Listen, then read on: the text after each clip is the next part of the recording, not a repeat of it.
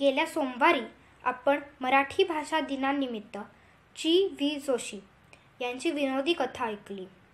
त्यापूर्वी गेले काही दिवसांपासून आपण दर सोमवारी स्वामी विवेकानंद चित्रमय चरित्र या पुस्तकातील काही गोष्टी ऐकत आहोत. आज ऐकूया पुढचा भाग. शिक्षणाचा श्री गणेशा. बिले हा खूप हुशार मुलगा होता. तो सहा वर्षांचा होण्यापूर्वीच त्याला रामायण आणि महाभारतातील गोष्टी मनःपूर्वक पाठ झाल्या होत्या. तसंच व्याकरणाचं पूर्ण पुस्तक देखील अगदी पाठ होतं. इतका लहान मुलगा कसं काय बरं एवढ्या सगळ्या गोष्टी शिकू शकला? बिलेच्या मावशांपैकी एक जण त्याला मांडीवर घेऊन बसायची आणि ही सगळी पुस्तकं त्याला वाचून दाखवायची. सगळं काही बिलेच्या लक्षात राहत असे. जे काही त्याने ऐकले असेल अगदी एक वेळ जरी ऐकले असेल तरी तो ते कधीही विसरत नसे. बिले आता सात वर्षांचा झाला होता. तो मेट्रोपॉलिटन शाळेत जात असे. शाळेत जाऊ लागण्याआधीसुद्धा बिलेला शिकवायला एक शिक्षक होते. ते रोज त्याला शिकवायला येत. ते शिक्षक पुस्तक वाचून दाखवत तेव्हा बिले बसायचा व ते लक्षपूर्वक ऐकायचं. शिक्षक जे वाचून दाखवायचे ते त्याच्या नेहमी स्मरणात राहायचे. ऐकलेली प्रत्येक गोष्ट लक्षात ठेवणं बिलेला कसं काय जमायचं? याचं कारण असं की शिक्षक जेव्हा वाचून दाखवत तेव्हा तो इतर कोणत्याही गोष्टीचा विचार करीत नसे.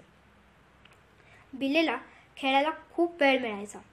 तो लाठी चालवायचे खेळ शिकला. शारीरिक कवायत मुष्टियुद्ध आणि इतरही अनेक गोष्टी शिकला. त्याच्यासाठी वडिलांनी एक तट्टू विकत घेतले आणि त्याला त्याच्यावर स्वार व्हायला फार आवडायचे.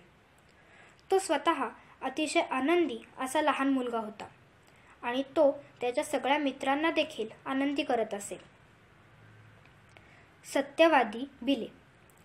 एकदा भूगोल विषयाच्या वर्गात शिक्षकांनी बिलेला एक प्रश्न विचारला. त्यानं त्याचं उत्तर दिलं. पण शिक्षक म्हणाले की उत्तर चुकीचं आहे. बिले म्हणाला की उत्तर बरोबरच आहे. शिक्षक फार रागवले. त्यांनी त्याला दट्टावले आणि त्याला एक चापट मारली. बिले घरी गेला आणि त्याने आईला ते सांगितले. त्याला त्याबद्दल फार वाईट वाटलं होतं. त्याची आई म्हणाली ठीक आहे बिले. शिक्षकांनी जे काही केले ते मनावर घेऊ नको. तू नेहमी खरं तेच सांगितलं पाहिजेस. जोपर्यंत तू खरं तेच सांगतोयस. हे तुला ठाऊक आहे. तोवर तुला इतर कशाचीही पर्वा करण्याची आवश्यकता नाही. नंतर ते शिक्षकही त्यांच्या घरी गेले. बिलेनं दिलेले उत्तर अगदी बरोबर असल्याचं त्यांना आढळलं. म्हणून आपण असं वागल्याबद्दल दुःखित आहोत हे सांगायला ते त्याच्याकडे गेले.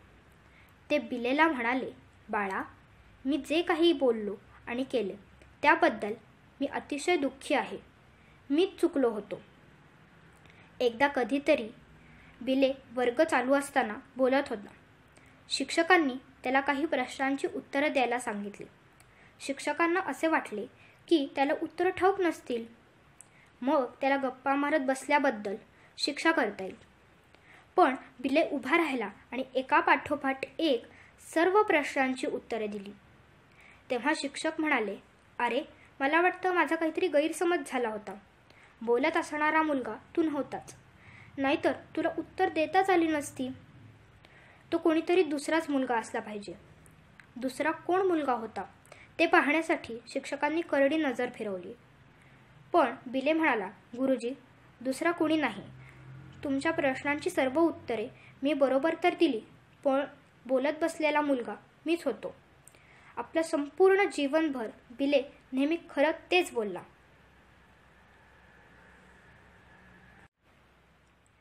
गेल्या